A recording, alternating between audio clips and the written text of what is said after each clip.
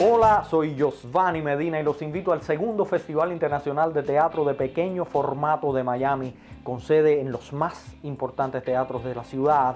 Más de 100 artistas, intérpretes, dramaturgos, directores, 20 nacionalidades, más de 30 obras de teatro en competición. Señoras y señores, un compendio de lo mejor de la escena hispana en los Estados Unidos.